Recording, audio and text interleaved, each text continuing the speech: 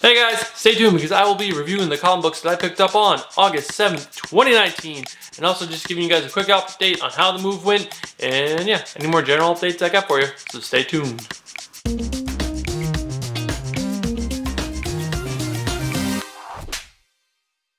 What's up comic book fans? My name is Bruce Moreau and welcome back to the channel.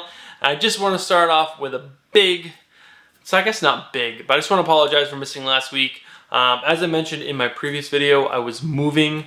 Um, I did move into a awesome four bedroom apartment with my amazing uh, girlfriend Stephanie and her two kids, Nate and Sophia, um, and my son Jack. And so if you have ever moved two apartments into one apartment, the amount of stuff you guys have and the amount of chaos that, that uh, it takes to do that um, you, you'll understand that the reason why I didn't um, make a video last week, and I also, I didn't watch, I haven't watched any TV in a very long time. I haven't read the comic books from last week. I think I read two. I read um, The Batman Who Laughs number seven, which wrapped, which was a really good book. I definitely suggest you guys pick that up if you haven't picked it up. Um, and I think I read the uh, Avengers from last week. That's it. And there was I picked up actually like seven or eight books that week, so I'm definitely behind there. I still have books from the previous week, um, but good news, guys. I picked up. Uh, I've actually picked up 11 books. I've read 10 of the 11. The only reason why I didn't read the last one is because I haven't read the one from the last month, um, which was Doom Patrol. Um, I didn't want to read two if I haven't read one yet, and I definitely didn't have time to read one and two. So with that said, um, yeah, that was pretty much the update on the move. The up move went really, really well. It was chaotic. It was a little crazy, um, but I am all moved in. The only place that really hasn't been unpacked is the basement, which I'm going to set up my new studio. Um, my wonderful mechanical engineer girlfriend is going to help me build some um, some set walls, and it's going to be great. So. Uh, yeah, that's update on the channel. Um, let's dive right into the books that I picked up this week. And those books were Absolute Carnage, number one, Daredevil, number nine, House of X, number two, Savage Avengers, number four, DCeased, number four, Batman 76, Justice League 29, Lois Lane, number two, Sea of Stars, number two, and Space Bandits, number two. Alright guys, let's dive right in with Absolute Carnage number one. This is written by Donny Cates and art by Ryan Stegman. This is definitely my pick of the week. I have been stoked. I have been excited. I have been, I don't know, I guess really excited um, for this for this big summer event to start. I've been a huge uh, Donny Cates Venom fan ever since he picked up the book, what, 14 issues ago or so. Uh, I'll put the actual number on the, up on the um, screen, but it's been such a fun run. The whole mythos he's telling, uh, he went like, you know, retold the whole symbiote backstory, and it's just an awesome, awesome story. And this is picking up right where that, that um, from the final issue of Venom, the, or not the final, the last issue of Venom and rolling right into this. I sadly have not picked up any of like the the lead up books to this. Like any, there's like been a lot of Carnage books that have been like, you know, our prelude stories to this. So I definitely have missed some of that, but man, this book is incredible. Um, the artwork by Ryan Stegman is absolutely out of this world. It fits Venom perfectly. It's it's one of the more enjoyable. He's he's just incredible. It's hard for me to describe the amount, and I think what it's very cartoony. I'll say that, um, especially when you get a lot of Venom on screen. But even the faces, a little cartoony. Sometimes, like there's a guy down here um, that's a little cartoony. But man, the amount of detail he puts into each panel is just awesome. Like all the line work on the tracks and everything, it's just not all artists do this. And when you see the amount of line work and dedication to the all the art on each page. It's just awesome. And with this, oh yes, I mean, come on. This is a great, great shot. And look how crazy Venom looks. It's just, I don't want to go into too much detail in the book, but um, And this Venom and the symbiote and Eddie Brock have been separated for like the last six issues, I want to say. And in this issue, um, they come back together. Carnage comes down. They fight Carnage for a little bit. Um, you get the details of, of what um, Carnage is trying to do. Um, and, are, and that's basically freeing Null from where he's trapped in the symbiote homeworld. Um, Spider-Man shows up. You knew Spider-Man was going to show up. It's Venom. Venom always shows up when there's Spider-Man. Um, it's just an awesome, awesome read. The Maker's back. I mean, oh. The dialogue in this book is amazing. Um, I would say some of the Spidey lines are a little cheesy, but it's Spidey. He's always cheesy this book is just an awesome, awesome read. I'm so excited to see where this goes. Um, it's gruesome. There's a, it's definitely a little bit of a horror book. Uh, it it is just awesome. Oh. I know I'm not doing the best job describing this, but it was an excellent read. Super fun. The art artwork by Ryan Stegman is on point. It's beautiful. It's detailed. It it, it gives you it elevates Donny Cates' story to a 10, a 12, a 20. It's so good. Um, I would highly suggest you guys pick this book up, especially if you're reading Venom. If not, this is going to be um, a huge blockbuster for the summer, and there is a lot of books. Uh, there's a total of 1, 2, 3, 4, 5, 6, 7, 8, 9, 10, 11, 12, 13, 14, 15, 16, 17, 18, 19, 20, 21, 22, 23, 24, 25, 26, 27, 28 books in total if you pick up everything that's going to be related to Absolute Carnage. Um, I'm probably just going to stick to Venom and probably, I think this is going to be a four or five issue arc, or, arc or book. Um, but who knows? Is the covers are awesome, the art's awesome, I'm probably to pick up more. Uh, but super fun book, pick of the week.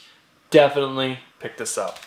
All right, next up we have Daredevil number nine. This is written by Chip Zdarsky and art by, uh, I'm always going to pronounce this wrong. I'm so sorry. Leet Kumar Shumar. I totally butchered that. I'm so sorry. Um, who is this cover by? Uh, I don't know. I'll put the cover artist up on screen because that is a dope ass cover. Um, so this picks up where the last issue left off. Um, we see, it's not totally picking up where it last left off. So at the beginning of the book, we see uh, Daredevil sitting down with Reed Richards, and Daredevil, Daredevil is asking, you know, is there a God? Can you prove to me, is there a God? I have been questioning this and questioning that. Um, and then he runs into, what is her name? uh, Mindy Libris of the Libris crime family. And in the, in the previous issue, uh, she had invited him to dinner and he didn't know her last name. And she shows up and it's a, one of the big crime families in New York City. He felt set up. And this issue, she comes back to apologize and say she knew what she did. She was trying to piss off her husband and it worked obviously, but you know now she she wants out of the family. She's like, oh, I'm so I'm so sick of being scared, and I don't want to do this anymore. And some things happen at the end of the book. I'm not 100% thrilled with what's happened. It's kind of, I guess it is a little Daredevil because it's definitely happened before, but I don't know. This was kind of a weak book, especially the art. I did read on CBR.com two weeks ago that they are switching the artist. Um, and I would definitely agree that they should because the art in this book is I don't know. I've complained about this artist before on this book, um, especially coming from the artist that was on this book previously. It's just it's not Daredevil. I mean, I mean, come on, look at this hair. I don't want to bash him too much. I mean, he's he's draw, drawing for Marvel, so obviously he's got a style that some people like. It's just not me. Um, I do like what's happening to Cole. He's being manipulated by the owl, which I thought was pretty cool. Cole is that cop from Chicago that's a total badass who was trying to take down Daredevil. I like the story that he's doing. The writing in this book is still really good by Chip. Uh, it's just the art is not that good, and the overall story is kind of wonky right now. Uh, hopefully Chip gets gets back on track relatively soon because there is some good stuff in here. I really like I said what's going on with Cole. I think that's that's interesting. It's just what's going on with Daredevil right now. I'm just not really loving. So can't really recommend you guys picking this book up. It's definitely not a good jumping in point. So maybe wait until the next arc. Hopefully that will be a little better by then. All right, next up, this was almost pick of the week. This book was so good. Uh, we have House of yeah House of X, right? House of X number two, written by Jonathan Hickman and art by Pepe, Pepe Larraz. So good. What Jonathan Hickman is doing with the X Men, it's blowing my mind. It is so freaking amazing. So this whole book deals with Moira X. Um, he she was Charles Xavier's girlfriend from a long time ago. I don't know the X Men history very well. I'm not an X historian. Um, but what Jonathan Hickman's doing with Moira X is so effing interesting. And I am completely sold. I am in. The artwork by Pepe is absolutely incredible. This book was so, so good. Um, I just absolutely love what he's doing in this book. Um, I really started enjoying Avengers when when he relaunched Avengers, and I was told I'm like, story is amazing. I I had no idea because back when I was younger, I wasn't looking at who was writing the book. I picked up the, the cool artists and just read um, whatever's there. And now that I realize that you got to pay attention to who's writing the book, guys now I know why I love the Avengers. He just he goes back and puts so much history and story behind all these characters. He gives you a reason to care for them, to want to see what's going to happen to them in the future and how they're how what they're doing is going to affect the rest of the team. It's just he is such a good writer and Pepe it's so such amazing art and I'm the team that they picked for House of X and Power of X is is so good, and it should have everyone picking these books up because this this is the future of X Men and for a very long time, and it's incredible how good these books are. Definitely pick up House of X two. Um, there, I saw copies of uh, House of X number one at my local comic shop, which is uh, Midtown Comics. I'm very lucky to have that be my store because I was definitely missing books from the previous weeks, and I found um, issues still there. Especially, I missed um, Batman Last uh, Last Knight on Earth, I believe it's called, number two, and they had multiple copies still there, so I was able to pick that up. But that said, pick up House of X number two. You will not be disappointed. It's a work of art, work of genius. It is so so good.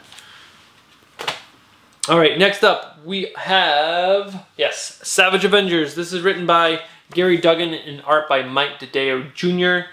Um, it's hard for me not to bash this book. Um, I was hoping Savage Avenger was going to be this epic, wonderful tale of these crazy, savage, like heroes that, you know, they go the extra mile. They do the things that other heroes won't do. Basically, you know, like X-Force. But I'm not on board with this story. Like this wizard trying to resurrect, not resurrect, bring this god to Earth who eats people and grows and can will destroy the Earth. I don't know. And the story they're telling with the Punisher is silly and I don't know. I'm not loving Mike's art. It's just he it's not selling the characters, I think is what it is. It's not selling Wolverine, it's not selling the, who the Punisher is. I think Elektra is doing, he's doing a good job of um, showing who Elektra is, but even though I think she's supposed to be more more cutthroat than what she is in this book. Dr. Voodoo is pretty cool. Um, but Venom shows up in this and he's a giant dragon, but we don't know who's in the symbiote at the time. There's Conan and I haven't read any of the Conan stuff, which I probably should because Jason Aaron wrote it. Um, but I've heard mixed mixed reviews on that. But I don't know, guys. I would definitely pass on Savage Avengers. I definitely love this variant cover though. This is a dope ass variant cover. So yeah, my suggestion is skip Savage Avengers. Um, I was really hoping this was going to be good. I'll probably pick it up for another issue or two just to see this to finish the arc. But yeah, this is also this is not a good jumping in point. But skip it, guys. That's my my review on that. All right, next up we have DCeased number four. This is written by um, Tom Taylor and art by Trevor. Hairshin? Hair, Hairsin? Um, again, I'm sorry, I'm butchering your name.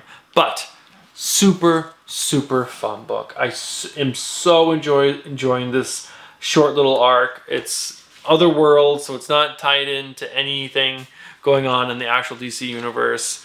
It's basically like, you know, Marvel Zombies, and it is just super fun. The art, it's it's okay. Um, it's definitely, it's, I would say, has kind of like a rough um, feeling to it. Like a, some of the characters and pages look a little, I wouldn't want to say unfinished because obviously they're finished, but they have that kind of like, you know, rough look to them. But since this is kind of like a zombie book, it kind of fits. But I just love what he's doing with all the characters and who's left. And at the end of this book, like people are just, heroes are just dying. You can't hold on to anyone because they are just dying left and right. Um, there was some really cool stuff in here with Harley Quinn and Poison Ivy. There was a great scene with Alfred and Damian. Um, an awesome scene with um, Cyborg and Giganta.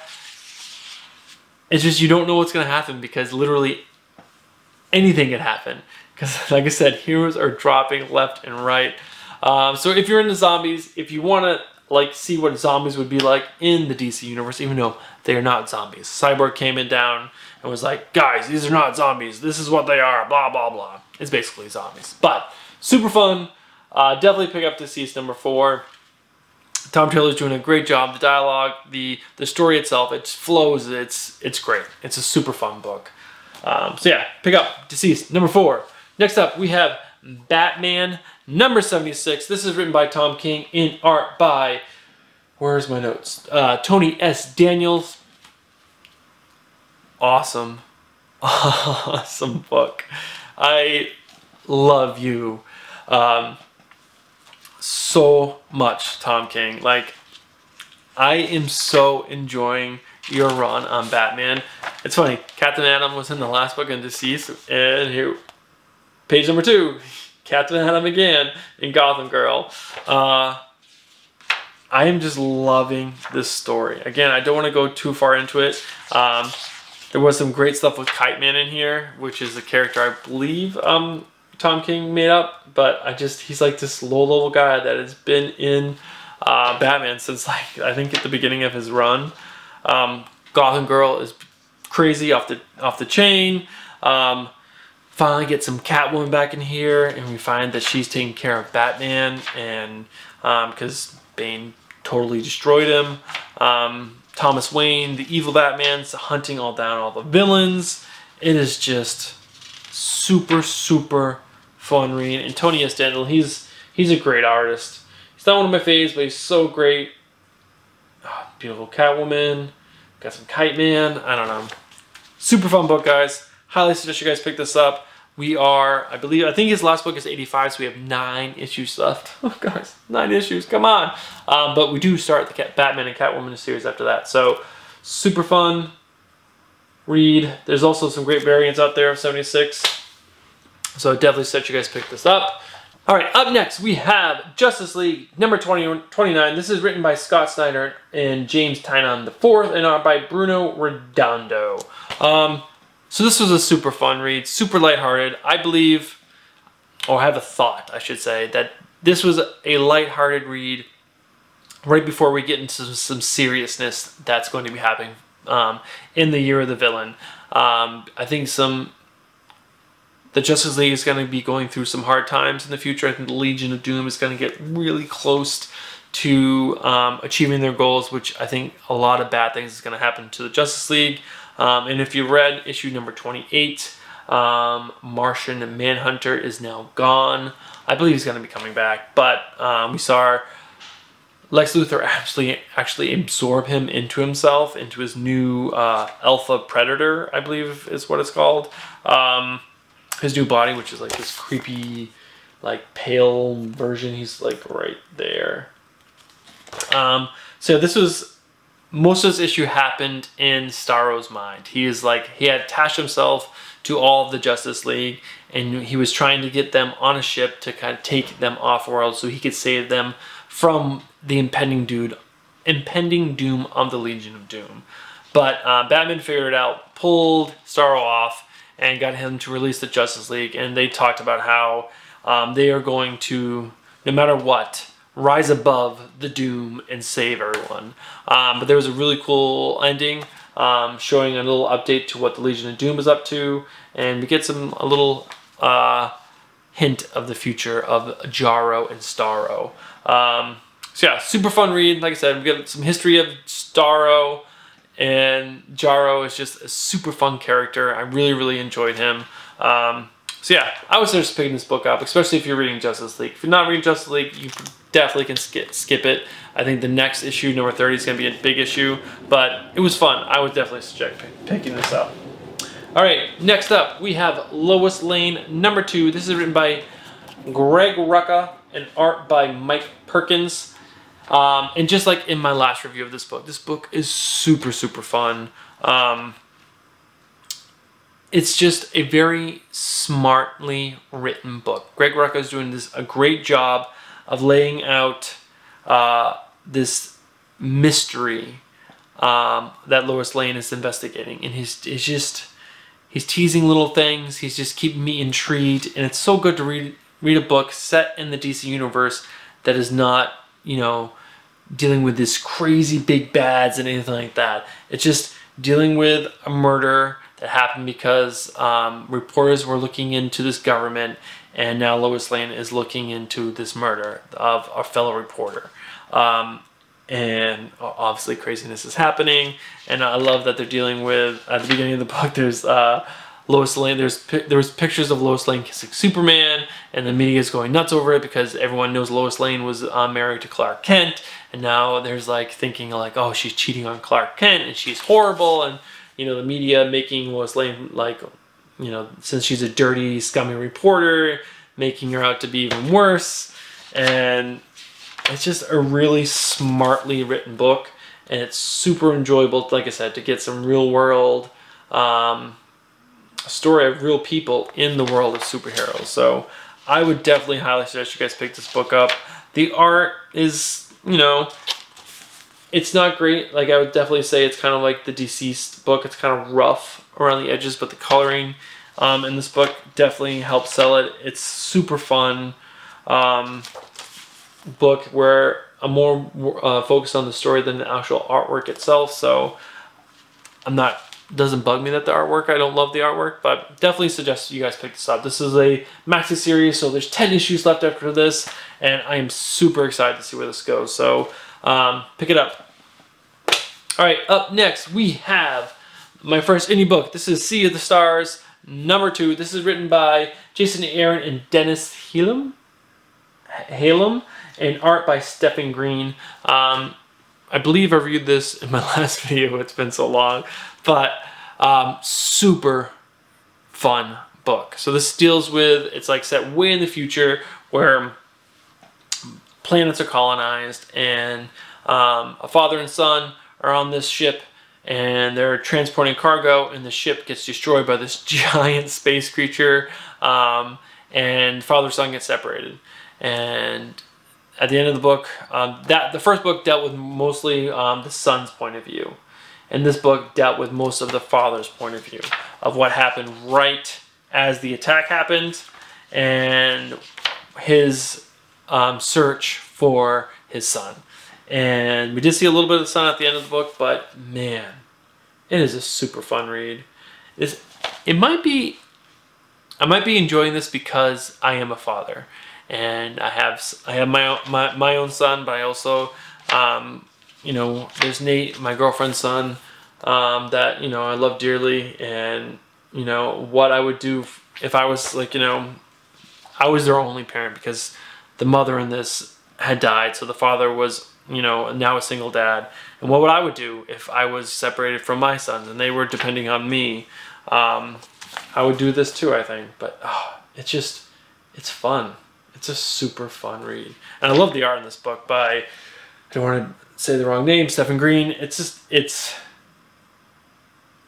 it's not super detailed like in some of the other books, especially like in Ryan Stegman's Absolute Carnage, but it's still the the facial expressions he does sells it because I feel the father's pain. I feel the father's longing to be with his son and his desire to get there. He sells it through the face and the eyes and yeah, it's really, really good. I just also love that, you know, it's set in the future and there's space and there's creatures and they can just go nuts with like all these different things and it's super, super fun. I probably said super, super fun way too much, but definitely pick up Sea of the Stars number two. It was, it was a great, great book. All right, uh, I believe this is my last book of the week. Hopefully this isn't a super long episode, but we have Space Bandits number two. This is written by Mark Millar and art by Matteo Scalara. Scalara? Yeah, I think it's Scalara.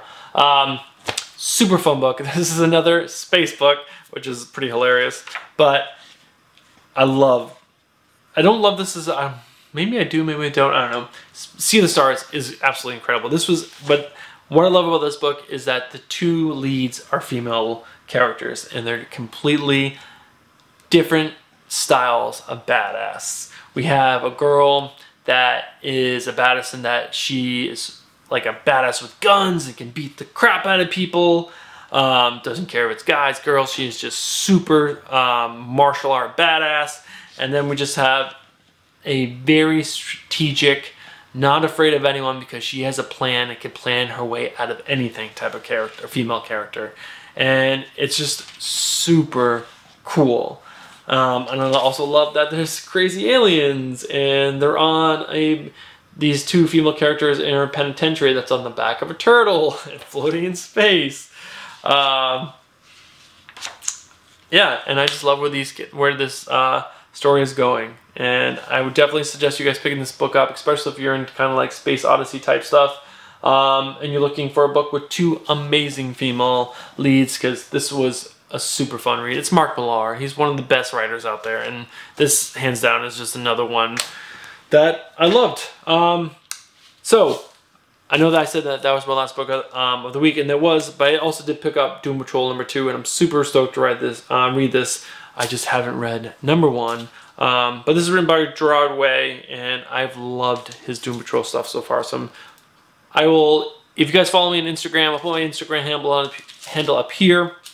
Stay tuned for short little reviews on there.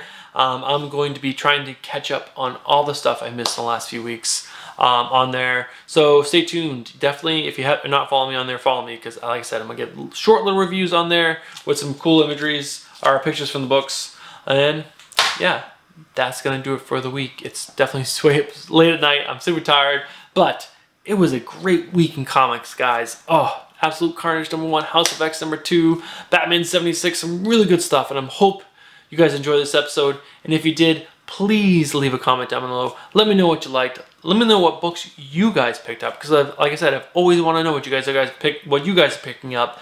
Um, and if you guys are picking something up that was really great and I missed it, let me know because I need more suggestions. I need to know what, what you guys would like to hear my thoughts on. So that's going to be it. If you guys are not subscribed, make sure you guys get yourself subscribed and you guys know what to do. If you guys like this video, smash that like button. Alright guys, thanks so much for coming by and I will see you guys in the next one. Peace.